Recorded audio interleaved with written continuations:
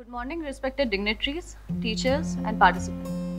We have assembled here for the guest lecture of Dr. Anand Swaroop.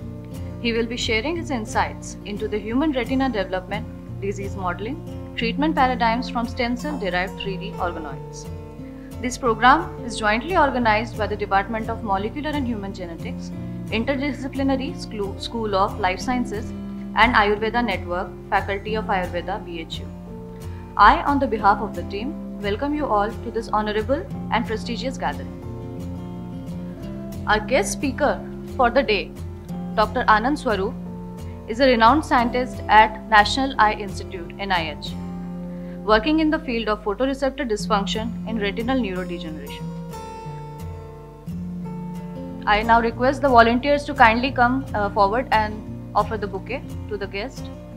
We are also privileged to have our Honorable Director, Professor A.K. Tripathi, as the guest of honor for the program. I request the volunteers to extend bouquet to our uh, guest of honor. Thank you, Professor Tripathi, to be a part of this program. I extend heartiest welcome to our Professor Gop- Gopeshwar Narayan, HOD, Department of Molecular and Human Genetics.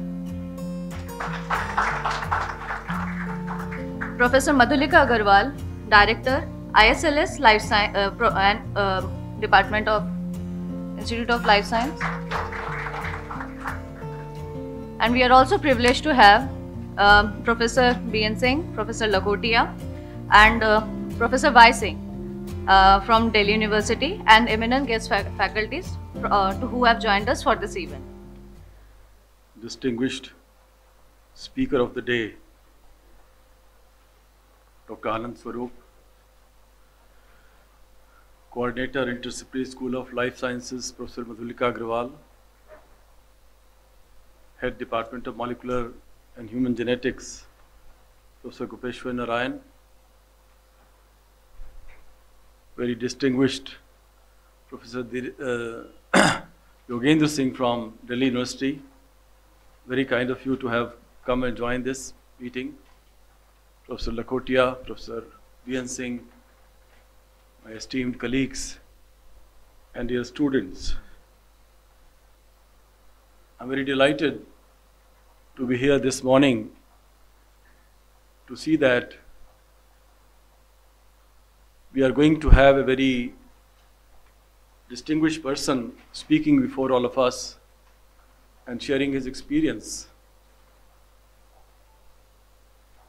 This is uh, an activity which is commensurate with our aspirations of excellence.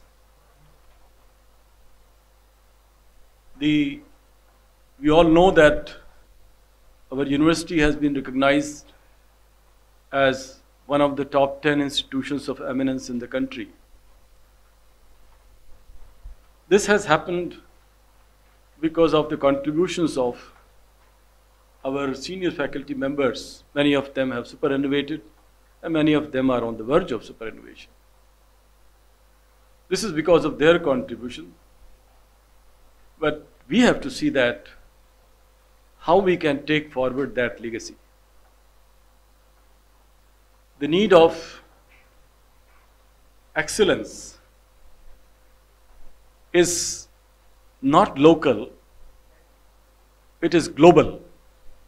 That how can we make our presence felt globally? And that will happen if we are able to develop, forge collaborations, international collaborations. The demand of the Institution of Eminence program is that henceforth we need to have about 30% of students from abroad. We need to have a lot of faculty from abroad and globalize ourselves, have a lot of collaborations. And this will be possible if we invite eminent persons like Professor Sarup, who is here today, to know what we are, what we are doing, and what kind of capabilities we have. This university has grown on very limited resources.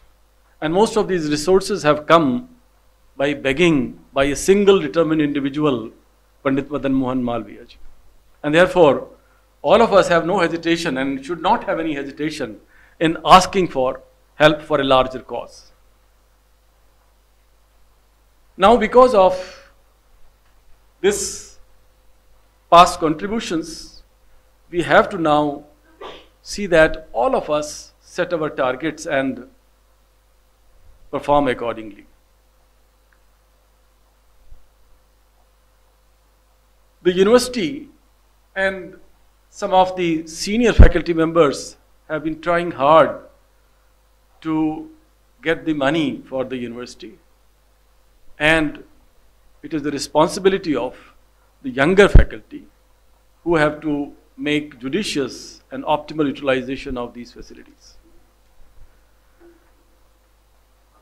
On behalf of the university, which consists of more than 130 departments, and on behalf of the Institute of Science, the Faculty of Science, which consists of about 14 academic units, departments, and schools and centers, I would like to welcome all of you, and especially Dr. Swaroop for being here. And this hall, the Interdisciplinary School of Life Sciences play, the venue, is the right venue for this kind of interactions. Because about 10 years ago, some of us, including Professor Lakhotia, under his leadership, we tried to think about that how can we break the silos and come together and start work under one umbrella. And that is the Interdisciplinary School of Life Sciences. We have been, we are grateful to the Department of Biotechnology for providing very generous support for creating this Interdisciplinary School of Life Sciences. But the life has to be added in this Interdisciplinary School of Life Sciences. And the life will come when the interdisciplinarity get promoted in its true sense. This interdisciplinarity will not only come from the life science departments, we need inputs, closer interaction from Department of Physics, Ayurveda. I'm very happy that faculty members from Ayurveda are here. Uh, Institute of Medical Sciences, uh, Chemistry Department, all kind of disciplines have to shake hands with the life scientists. And then only this Interdisciplinary School of Life Sciences will come to life when we uh, develop these kind of uh, interactions. But these interactions should not be limited within the university. They have to go outside the university, within the country, and outside the boundaries of our nation. So with these words, the, you know, the, the, the kind of, uh, uh I try to convey the sentiments of the university, the feeling of the university that we have to move forward and make our presence felt globally, make a mark there. And all of us have to join in this effort. And with this, I would once again like to welcome this initiative, Professor Dr. Mousumi Mutsuddi, of inviting taking lead in inviting uh, Dr. Anand Swaroop. And I hope that many such seminars and interactions will happen very frequently in this campus. And then uh, we will be probably marching ahead towards our goal of global excellence. Thank you very much. A very good morning to all of you. It's lovely to see the hall filled. And uh, this uh, talk, the guest lecture, is being organized uh, by Molecular and Human Genetics, ISLS, and the Ayurveda Network, which is supported by MHRD. Uh, first of all, I would uh, like to uh, welcome our guest, Dr. Swaroop, in whose lab I was a sabbat I did my sabbatical. I would also like to welcome our institute director, who is really busy, I know, because Professor Balram is arriving. And in spite of that, he agreed to come and grace the occasion. I would like to thank Professor Madhulika Agarwal, who has really supported us immensely to organize this uh, event. And I would also like to have, uh, say, uh, convey my gratefulness to the head, MEG, who's been always supportive. I would uh, heartily welcome the senior teachers, my revered sir, Professor Lakhotia and Professor B.N. Singh, my colleagues, and my dear students. And I would especially like to welcome Professor Yogendra Singh, who is the Dean of uh, Life Science, Delhi University. And I happen to know him because on several occasions when he was the head, I have been to DU as an examiner and we've had time to have lunch and interact. And another connection is uh, Ankur Botra, who was the topper in MHG and did his dissertation with me, happened to do his PhD with Professor Y. Singh at the time when he was in IGIB. And his wife, Nivedita, is currently a postdoc with Anand Swaroop. So the world is really small.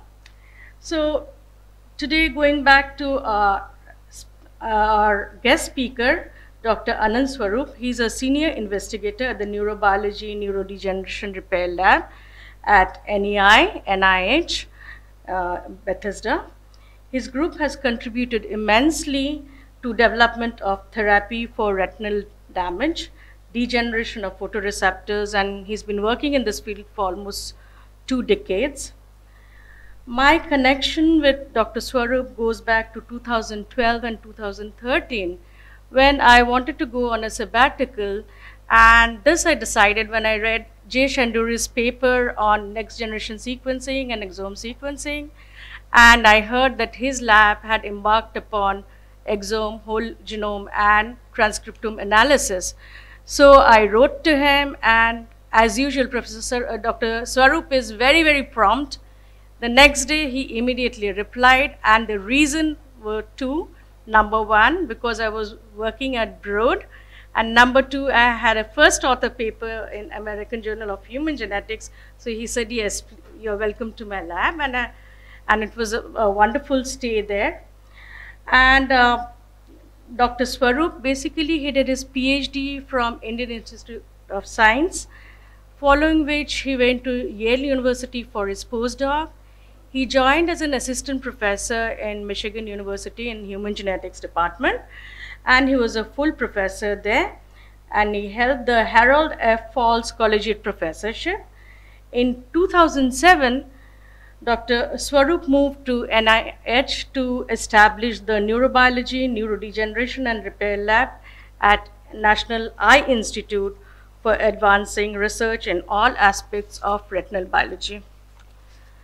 Dr. Swaroop is a leader in the field of retinal and de uh, development and degeneration and has received many honors and accolades, including the Board of Directors Award for the Foundation Fighting for Blindness, Outstanding Research in 2006, and the Harrington Senior Scientific Award for Research to Prevent Blindness, the prestigious Alcon Award for Outstanding Vision Research in 2012. In 2012, he was also selected as ARVO as a Gold Fellow for his services to the vision community. Dr. Swaroop has published more than 350 peer-reviewed papers, and they are in Cell, Nature, Nature Genetics, PNAS, American Journal of Human Genetics, H HMG, just to name a few. And uh, before I really move, I would just like to show a couple of slides during my visit. This is seven years back, and uh, I had Chilla, who was a graduate student, and she was very good at programming, and I, I, I was sort of training her to do the biology, and Abigail from Israel was also there, so this was the small group. Unfortunately, I don't have pictures of Rinky. And then uh, it was really a fruitful uh, stay at his lab because we published two papers in uh, uh IOVS and one in human mutation within a year. And this was in collaboration with an Israeli group. And then again, this is the huge group which Dr. Swaroop leads. And you can see the senior people in the front row. Professor Swaroop is there, and then I'm there in the front. There are postdocs and other research students. So you can imagine what a massive lab he has. It's a mini factory. And it was a very, very wonderful experience spending a year because the chemistry of the lab is very important when it's such a large size and everyone is so helpful and of course, along with work, I had the time to see the cherry blossoms in Washington. And of course, this is the picture where this is my farewell lunch given by the, my lab mates. So Dr. Swaroop, thank you so much for letting me work for a year and you'll be happy to know that we were the first one in the uh, university to do exome sequencing and we have published also and identified variants. So we'll discuss about it later on. With this, I would like to invite today's speaker, Dr. Swaroop, and I won't hold you all in between his talk. So thank you so much, and I welcome everyone.